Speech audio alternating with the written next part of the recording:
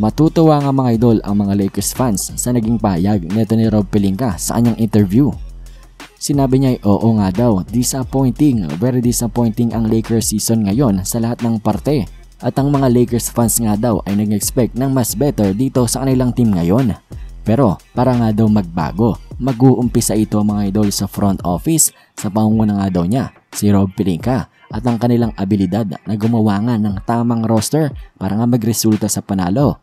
Mag-uumpisa rin daw ito sa mga coaches at sa kanilang paninigurado na ayos ang on-court execution. Pati na rin daw mga training staff at ang kanilang paninigurado na healthy ang kanilang mga player.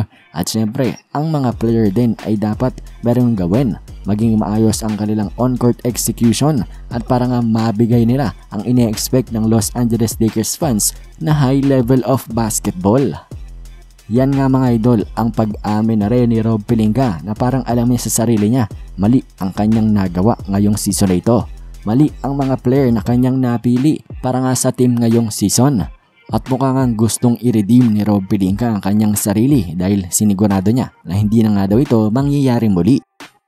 Pero anyways nga mga idol, ano bang masasabi nyo dito sa mga pahayag ni Rob Pelinka? Komento nyo lamang ang inyong mga opinion. At para nga sa ating next balita mga idol ay patungkol kay Lamelo Ball. Magbabago na nga siya ng numero from number 2 to number 1. Sabi niya nga mga idol sa kanyang interview, hindi niya nga daw alam bakit number 2 ang kanyang numero.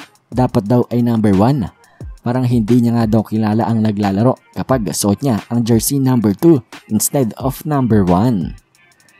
Pero anyways mga idol, pag-usapan nga natin ang nangyaring paghaharap nitong Los Angeles Clippers pati na rin ng New Orleans Pelicans. Kung saan mga idol, for the first time, itong si Brandon Ingram ay pangungunahan nga ang kanyang team sa playoffs. Sa panalo nga nila laban sa Clippers 105 to 101, itong si Ingram ay talaga namang binuhat ang kanyang team 30 points, 6 rebounds, and 6 assists. Ang superstar teammate niya naman na si CJ McCollum mga idol ay merong 19 points. Ito nga ang Clippers mga idol ay medyo lugi sa laban na ito.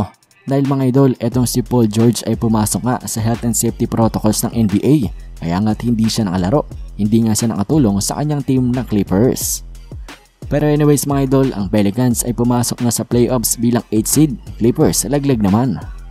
At yan ang lamang din muna para sa ating mga balitang NBA ngayon. Maraming ang salamat sa inyong panonood. Bye!